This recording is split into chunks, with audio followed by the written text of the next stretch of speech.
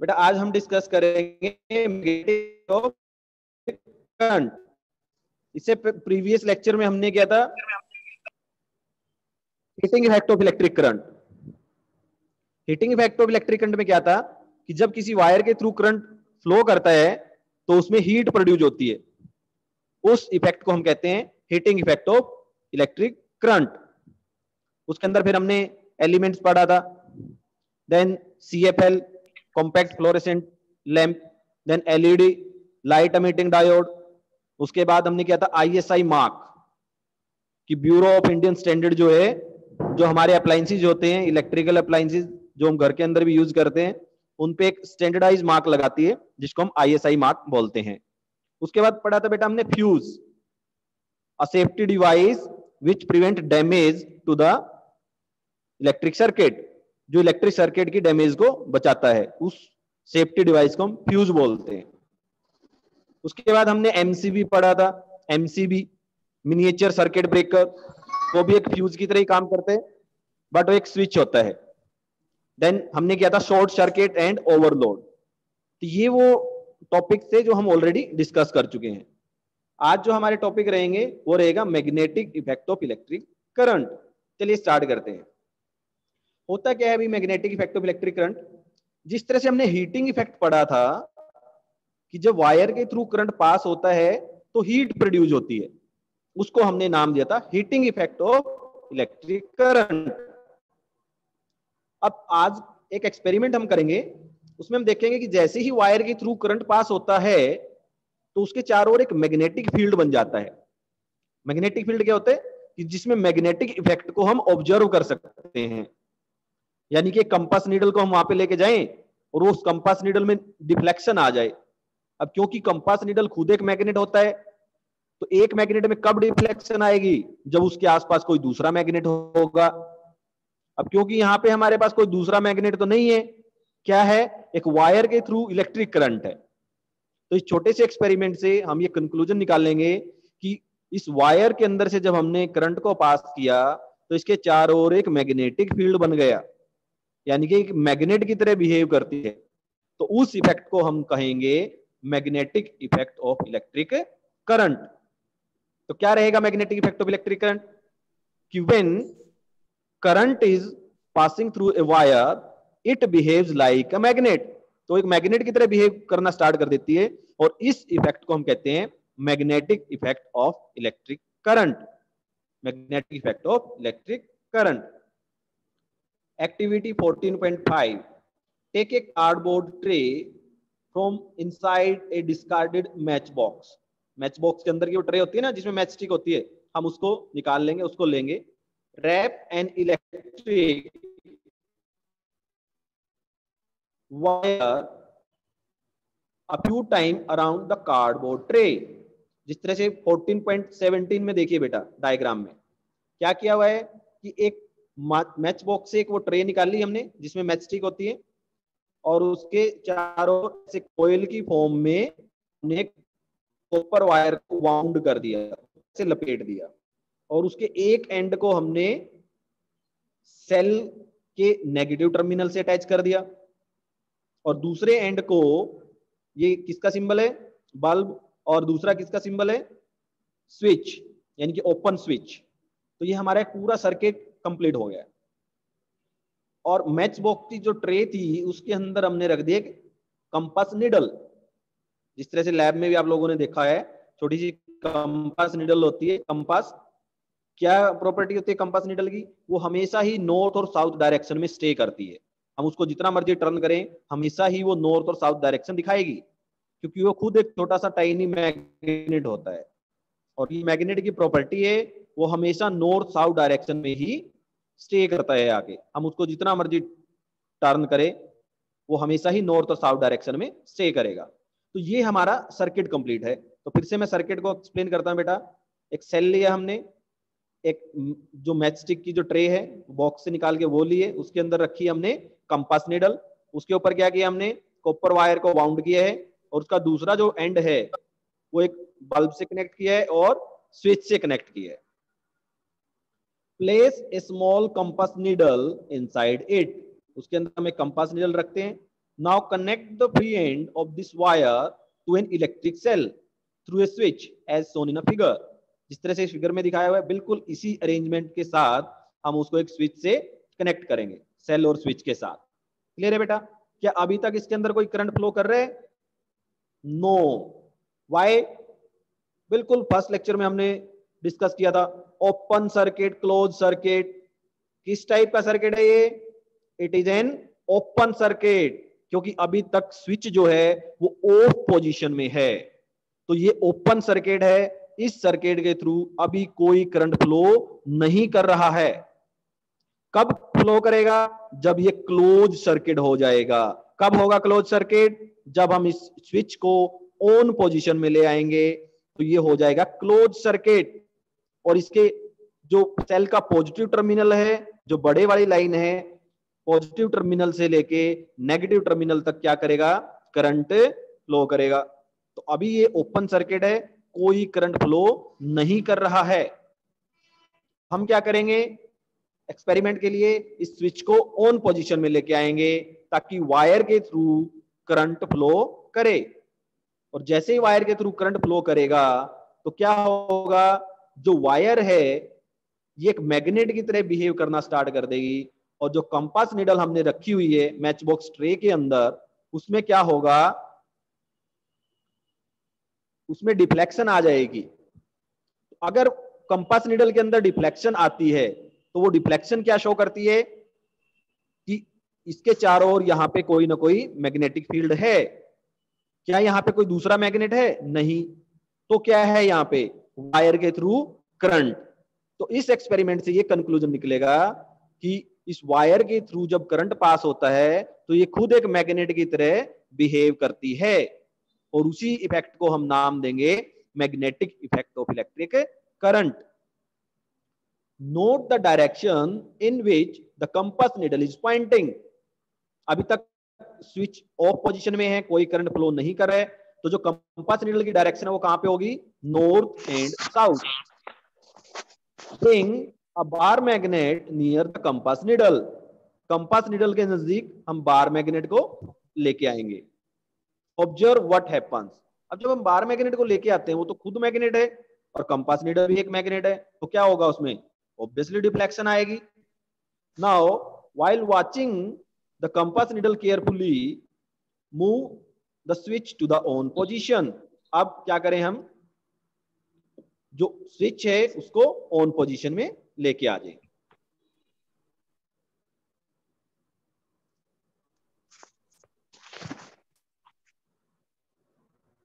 What do you observe does the compass needle reflect move the switch back to the opposition पहले हमने उसको own position में किया था। देखा क्या उसमें कोई डिफ्लेक्शन आती है? अब उसको दोबारा से ऑफ़ पोजीशन में लेके जाएँगे। Does the compass needle come back to its initial position क्या कंपास नीडल अपनी इनिशियल पोजीशन पे आती है? तो बेटा, जैसे ही हमने स्विच को ऑन किया, क्या होगा स्विच को ऑन करते ही? वायर के थ्रू करंट फ्लो करेगा। वायर के थ्रू करंट फ्लो करेगा तो वायर जो वहाँ पे हमने कंपास निडल रखी हुई है, उसके अंदर क्या आएगी? डिफ्लेक्शन आएगी।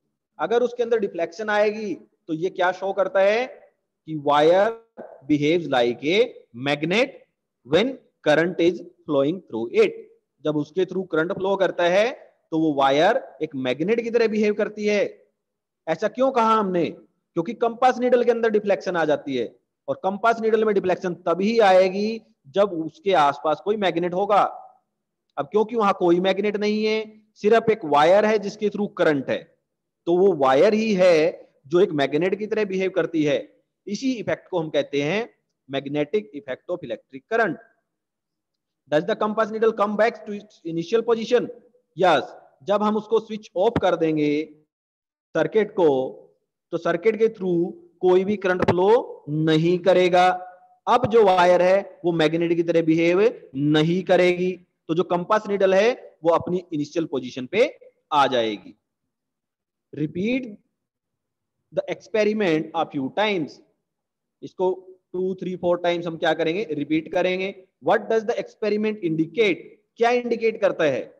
The experiment indicate that when the current is flowing through a wire, it behaves like a magnet. जैसे ही वायर के थ्रू करंट फ्लो करता है, वो किसकी तरह बिहेव करना स्टार्ट कर देती है? मैग्नेट की तरह। और इसी इफ़ेक्ट को हम कहते हैं magnetic effect of electric current तो बेटा, अब आपको बिल्कुल अच्छे से क्लियर हो जाना चाहिए कि जब वायर के थ्रू करंट पास होता है, किसी भी कंडक्टिंग वायर के थ्रू हम इलेक्ट्रिक करंट को पास करते हैं तो कौन कौन से इफ़ेक्ट वहाँ पे आते हैं? फ़र्स्ट वन वहाँ पे हीट प्रोड्यूस होती है। चाहे कम अमाउंट में प्रोड्यूस हो, चाहे ज़्यादा अमाउंट में प्रोड्यूस ज़रूर होगी। और दूसरा इफ़ेक्ट जो आज हम डिस्कस कर रहे हैं, क्या है? मैग्नेटिक इफ़ेक्ट वो मैग्नेट की तरह बिहेव करती है। तो ये दो मेन इफ़ेक्ट है किसी भी कंडक्टिंग वायर के, जब करंट उसके थ्रू पास होता है। We know that the needle of the compass is a tiny magnet जो कंपास की जो नीडल है, वो टाइनी मैग्नेट होती है। Which point in north south direction वो हमेशा ही नॉर्थ साउथ डायरेक्शन में पॉइंट करती है। तो यहाँ पे आपका एक वन मार्क्स का क्वेश्चन भी बन जाता है कि व्हाट इज़ कंपास नीडल तो आप कह सकते हैं compass needle is a tiny magnet which point in north south direction ये आईटी बन गई है यहाँ पे। तो आप इसको अंडरलाइन भी कर सकते हैं आपकी बुक के अंदर। और बेटा, जैसे कि पहले भी मैं कह चुका हूँ, जब भी आपकी क्लासेस होती है, आपकी एक, नोटबुक, एक पेन और बुक आपकी हमेशा साथ में होनी चाहिए। So underline this the needle of the compass is a tiny magnet which point in a north south direction. When we bring a magnet close to it the needle get deflected. जब हम एक magnet को इसके नज़दीक लेके आते हैं तो इसकी जो नीडल है वो डिफ्लेक्ट हो जाती है। सिक्स स्टैंडर्ड में आप थोड़ा सा रिवाइज कीजिए सिक्स स्टैंडर्ड में कैसे किया था। मैग्नेट्स वाला एक चैप्टर आपका आया था। डिफरेंट डिफरेंट टाइप्स के मैग्नेट अब वहाँ पे पढ़ चुके हैं। उसके इफ़ेक्ट आपने पढ़े थे। North end north pole repel south end south pole repel north end south pole attract ये सब सिक्स स्टैंडर्ड में आप कर चुके हैं कि जो लाइक पोल होते हैं, वो रिपेल करते हैं और जो अनलाइक पोल होते हैं, वो अट्रैक्ट करते हैं। तो यहाँ पे भी दो मैग्नेट्स बन चुके हैं। एक तो जो मैग्नेट हम लेके जाएँगे और एक कंपास नीडल वो खुद एक टाइनी मैग्नेट है। इसीलिए उसके अंदर डिफ्लेक्शन आती है। We have also seen that compass needle get deflected when the current flow in a nearby wire. इस एक्सपेरिमेंट में हमने क्या देखा? कि जब उसके पास जो वायर है, उसके थ्रू करंट फ्लो करता है इलेक्ट्रिक करंट फ्लो करता है तो कंपास नीडल में डिफ्लेक्शन आती है। बिल्कुल वैसे ही डिफ्लेक्शन आती है, जैसे कोई मैग्नेट उसके पास लेके आने के बाद डिफ्लेक्शन आएगी। Can you connect the two observation क्या इन दो ऑब्जर्वेशन को आप कनेक्ट कर सकते हैं? Yes yes. कैसे कनेक्ट कर सकते हैं? We can say that when the current is flowing through the wire it behaves like a magnet so can you connect the two observation when the current flow through a wire does the wire behaves like a magnet yes when the current flow through a wire it behaves like a magnet तो जैसे ही wire के through current pass होता है electric current flow होता है वो wire एक मैग्नेट की तरह बिहेव करना स्टार्ट कर देती है। इसी इफ़ेक्ट को हम कहते हैं बेटा, magnetic effect of electric current. तो ये जो छोटा सा एक्सपेरिमेंट हमने, एक्टिविटी जो हमने की है, इसमें हमने यही दिखाया है कि वायर के थ्रू जब करंट पास होता है तो वो एक मैग्नेट की तरह बिहेव करती है। This is what a scientist call Hans Christian ऑस्ट्रेड also wondered तो हैन क्रिश्चियन ऑस्ट्रेड वो साइंटिस्ट थे जिन्होंने फ़र्स्ट टाइम इस इफ़ेक्ट को ऑब्ज़र्व किया था। और इसी इफ़ेक्ट को हम ऑस्ट्रेड एक्सपेरिमेंट भी कहते हैं। ये जो एक्सपेरिमेंट हमने किया है ना, कौन सा एक्सपेरिमेंट? कि एक कंपास निडल ली, एक मैच स्टिक की जो ट्रे थी उसके अंदर रख के उसके ऊपर एक वायर को वाउंड किया और उसको एक सेल से कनेक्ट किया और उसमें से करंट फ्लो किया। जैसे ही करंट फ्लो करता है कंपास निडल के अंदर डिफ्लेक्शन आती है। क्योंकि ये एक साइंटिस्ट से हेंस क्रिश्चियन ऑस्ट्रेड जिन्होंने एक्सपेरिमेंट किया था। तो इसीलिए इस एक्सपेरिमेंट का नाम ऑस्ट्रेड एक्सपेरिमेंट भी है। इसी एक्सपेरिमेंट को ऑस्ट्रेड एक्सपेरिमेंट भी कहा जाता है, या ऑस्ट्रेड इफ़ेक्ट भी कहा जाता है। He was the first person who noticed the deflection of the compass needle every time the current pass through the wire उन्होंने इस एक्टिविटी को, इस एक्सपेरिमेंट को कई टाइम रिपीट किया। तो जितने भी टाइम उसने, उन्होंने रिपीट किया, उन्होंने क्या देखा कि जो कंपास निडल है, जैसे ही हम वायर के थ्रू करंट पास करते हैं, उसके अंदर डिफ्लेक्शन आती है। यहीं से उन्होंने कंक्लूजन निकाला कि वायर के थ्रू जब करंट पास होता है तो वो एक मैग्नेट की तरह बिहेव करती है और उस इफ़ेक्ट को नाम दिया गया magnetic effect of electric current magnetic effect of electric current this is what assign so when electric current pass through a wire it behaves like a magnet this is the magnetic effect of electric current तो बेटा यहाँ से आप, आपकी जो IT है important term magnetic effect of electric current इसकी definition को मार्क कर सकते हैं. When electric current passes through a wire it behaves like a magnet this is the magnetic effect of electric current यहाँ तक मार्क करेंगे। Next है बेटा। In fact an electric current can be use to make a magnet तो electric current को एक magnet बनाने में भी हम यूज़ कर सकते हैं। Do you find it too surprising क्या ये थोड़ा सरप्राइजिंग लगता है? Let us try it out चलो इसको भी ट्राई करते हैं। तो उससे पहले look at the figure 14.19 an electromagnet इस डायग्राम को बेटा आपने इलेक्ट्रोमैग्नेट की जो डेफिनेशन मैं बताऊँगा, उसके साथ आपने ये डायग्राम ड्रॉ करना है एन इलेक्ट्रोमैग्नेट तो चलिए पहले इसको एक्सप्लेन करते हैं, इसको अच्छे से समझना है कि ये कैसे इलेक्ट्रोमैग्नेट है। देखिए, हमने क्या लिया है? एक नेल ली है आयरन नेल जो स्क्रू होता है आयरन नेल और उसके ऊपर कॉपर वायर को वाउंड किया है। जिस तरह से डायग्राम में आप देख पा रहे हैं कॉपर वायर को उसके ऊपर लपेट दिया है हमने। उस कॉपर वायर का एक एंड हमने स्विच के साथ कनेक्ट किया है और दूसरे एंड को हमने जो हमारा सेल का पॉजिटिव टर्मिनल है उसके साथ कनेक्ट किया है। अब स्विच का जो दूसरा एंड है उसको सेल के नेगेटिव टर्मिनल से कनेक्ट किया है। और स्विच कौन सी पोजीशन पे है? ऑन पोजीशन पे। तो सर्किट कैसा है हमारा? क्लोज सर्किट अगर क्लोज सर्किट है तो इसके थ्रू क्या पास होगा? करंट पास होगा। जैसे इसके थ्रू करंट पास होगा बेटा, ये जो आयरन नेल हमने ली है it behave like a magnet ये आयरन नेल एक मैग्नेट की तरह बिहेव करना स्टार्ट करेगी। और इसी को हम कहेंगे इलेक्ट्रोमैग्नेट ये जो आयरन नेल है। इफ़ेक्ट को नाम हमने क्या दिया था? Magnetic effect of electric current but क्योंकि इस टाइम हमने एक आयरन का पीस लिया है आयरन नेल ली है हमने तो वो जो आयरन नेल है तो iron nail it become magnet क्यों वो मैग्नेट बन जाएगी? देखिए बेटा, ध्यान से, जो हमने कॉपर वायर ली है, उसके थ्रू क्या पास होगा? करंट पास होगा। करंट पास होगा तो वो मैग्नेट की तरह बिहेव करेगी। अब उसके अंदर हमने आयरन नेल रख दिए। वो सारा का सारा मैग्नेटिक इफ़ेक्ट किसमें चला जाएगा? आयरन नेल के अंदर। और आयरन नेल अब इटसेल्फ ए मैग्नेट की तरह काम करेगी। तो इसको हम कहते हैं इलेक्ट्रोमैग्नेट तो डेफिनेशन में लिखवाऊँगा आपको। उसके साथ आपने ये डायग्राम भी ड्रॉ करना है an electromagnet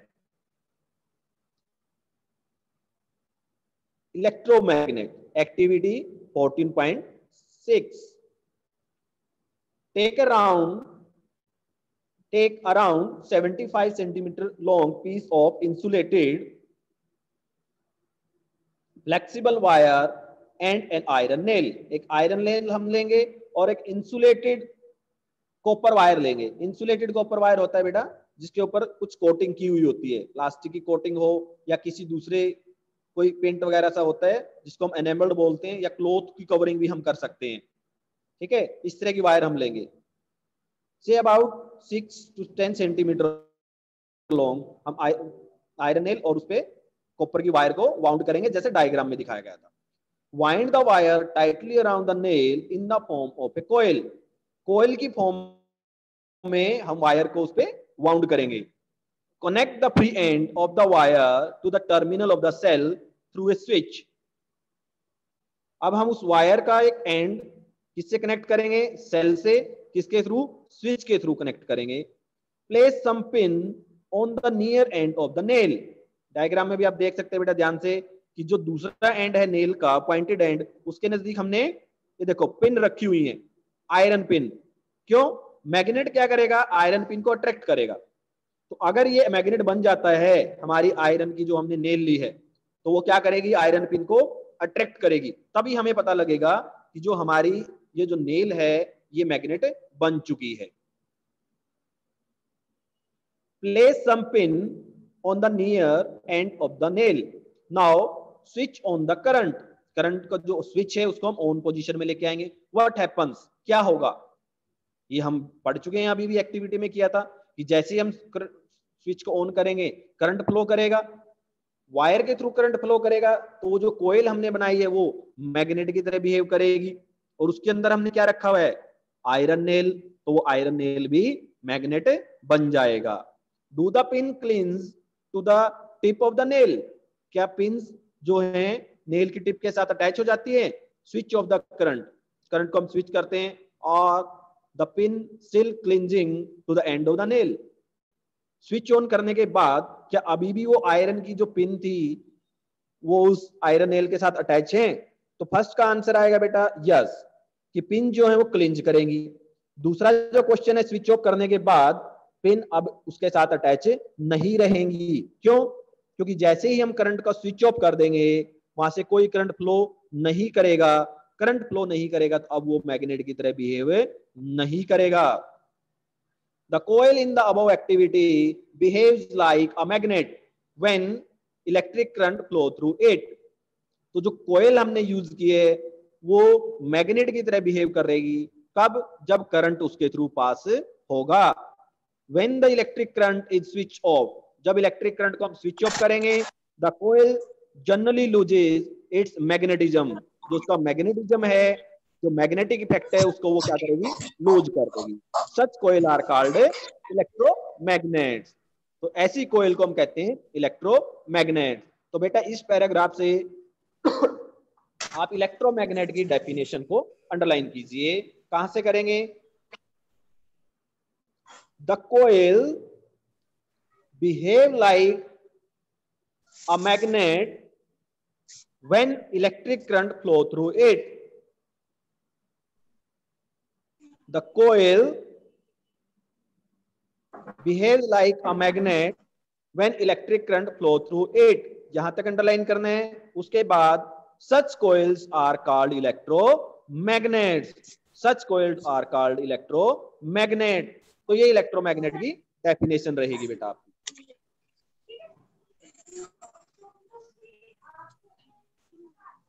इससे एक बार दोबारा दिमाग कर लीजिएगा बेटा। The coil behave like a magnet when electric current flow through it such coils are called electromagnet इस तरह की कोयल्स को इलेक्ट्रोमैग्नेट कहते हैं।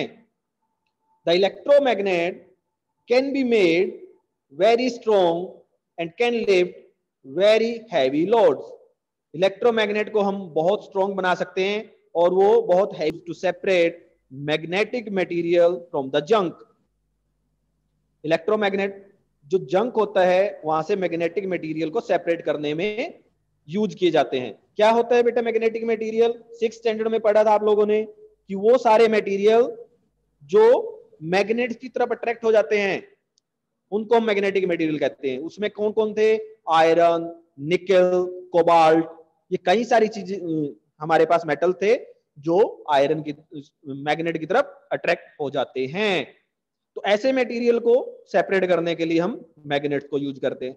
यहाँ पे बेटा जो हम अब डिस्कस कर रहे हैं ना, ये टॉपिक बनेगा आपका यूजेज ऑफ़ मैग्नेट तो फ़र्स्ट यूज़ है आपका electromagnet are use to separate magnetic material from junk second आपका जो यूज़ बनेगा, यहीं पे आप लिख लीजिएगा second use doctor use tiny electromagnet to take out small pieces of magnetic material that have accidentally fallen in the eye ठीक है? कई बार क्या होता है? आईज के अंदर कुछ आयरन का पीस या कुछ ऐसे पीसीस चले जाते हैं। तो डॉक्टर क्या करते हैं? इलेक्ट्रोमैग्नेट को यूज़ करके उन टाइनी पीसीस को निकालते हैं। आईज के अंदर से। तो ये सेकेंड आपका यूज़ हो गया। फ़र्स्ट यूज़ क्या था? Electromagnet are use to separate magnetic material from the junk second use है doctor use tiny electromagnet to take out small pieces of magnetic material that have accidentally fallen in the eye तो ये दो usage आप उसको लिख सकते हैं बेटा किसके? इलेक्ट्रोमैग्नेट के। थर्ड जो यूज़ है, वो रहेगा many toys also have electromagnet inside them कि बहुत सारे जो बच्चों के जो टॉयज होते हैं, उसके अंदर भी हम क्या देखते हैं? इलेक्ट्रोमैग्नेट्स होते हैं, ठीक है? तो ये यूजीज में आप लिखेंगे यूजीज ऑफ़ इलेक्ट्रोमैग्नेट तो यूजीज ऑफ़ इलेक्ट्रोमैग्नेट में आप ये कर सकते हैं। और तीसरा यूज़ आप लिख सकते हैं in electric bell electric bell के अंदर भी इलेक्ट्रोमैग्नेट यूज़ होता है। चलिए बेटा नेक्स्ट आपका टॉपिक डिस्कस करते हैं इलेक्ट्रिक बेल वायर के थ्रू करंट पास होगा, ये किसकी तरह बिहेव करेगी? इलेक्ट्रोमैग्नेट की तरह। तो जो हमारी बेल होती हैं इलेक्ट्रिक बेल उन सभी के अंदर इलेक्ट्रोमैग्नेट लगा हुआ होता है, ठीक है? तभी वो रिंगिंग साउंड प्रोड्यूस करती है। Figure 14.20 show the circuit of an electric bell it consist of a coil of wire wounded on iron piece एक आयरन पीस के ऊपर आप कोयल देख पा रहे हैं। तो क्या कर रखा है उस पर आयरन पीस पे हमने कोयल को वाउंड किया हुआ है। जैसे कि अभी एक्टिविटी में किया था लास्ट एक्टिविटी में। एक आयरन नेल लेके उस पर हमने कोयल को वाउंड किया। और जैसे ही वहाँ से करंट पास हुआ तो iron nail behave like a magnet अब भी हमने ऐसे किए। ठीक है? आयरन के पीसीज हैं, उस पर हमने कोयल को वाउंड किया हुआ है। It consist of a coil of wire wound on an iron piece the coil act as an electromagnet जो कोयल है वो इलेक्ट्रोमैग्नेट की तरह बिहेव करेगी। An iron strip with at one end is kept close देखो बेटा ये iron की जो ऊपर हमें दिखाई दे रही है ना जो बेल टाइप जो दिखाई दे रही है उसके नज़दीक एक छोटा सा हैमर है। जैसे ही इस कोयल के थ्रू आयरन को लगा रहे When the iron strip is connected to the with the screw, the current flow the coil, which becomes an electromagnet. तो जैसे ही उस कोयल के थ्रू क्या होगा? करंट पास होगा तो वो किसकी तरह बिहेव करेगी? इलेक्ट्रोमैग्नेट की तरह। It then pull the iron strip फिर वो आयरन स्ट्रिप को अपनी तरफ़ अट्रैक्ट करेगी। In the process the hammer at the end of the strip strike the gong of the bell to produce a sound तो diagram पे देखिए तो क्या होगा? जैसे ही ये इलेक्ट्रोमैग्नेट की तरह बिहेव करेगी कोयल तो जो ये हैमर है, वो किस पे स्ट्राइक करेगा? गोंग पे। और वो कंटिन्यूसली वहाँ पे स्ट्राइक करता रहेगा तो कैसा साउंड प्रोड्यूस करेगा? रिंगिंग साउंड तो ये मैकेनिज्म होता है। Produce a sound however, when the electromagnet pull the iron strip, it also break the circuit जैसे ही इलेक्ट्रोमैग्नेट स्ट्रिप को पुल करेगा, वहाँ से क्या हो जाएगा? वो जो स्क्रू था जिसका an electromagnet it is no longer attract the iron strip अब ये आयरन स्ट्रिप को अट्रैक्ट नहीं नहीं करेगा। The iron strip comes back to its original position iron strip अपनी ओरिजिनल पोजिशन पे आ जाएगी and touch the contact screw again तो देखिएगा ध्यान से बेटा लेफ़्ट हैंड साइड में आपको एक स्क्रू दिखाई दे रहा है तो ये जो आयरन की स्ट्रिप है, वापिस से इस पे आ जाएगी। फिर क्या होगा? दोबारा से इलेक्ट्रोमैग्नेट इसको अट्रैक्ट करेगा तो ये गोंग को जाके स्ट्राइक करेगी। यही चलता रहेगा जब तक हम स्विच को प्रेस करते रहेंगे। This complete the circuit, the current flow the coil and the hammer strike the gong again. अब सर्किट फिर से कंप्लीट हो जाएगा फिर से वो कोयल इलेक्ट्रोमैग्नेट बन जाएगी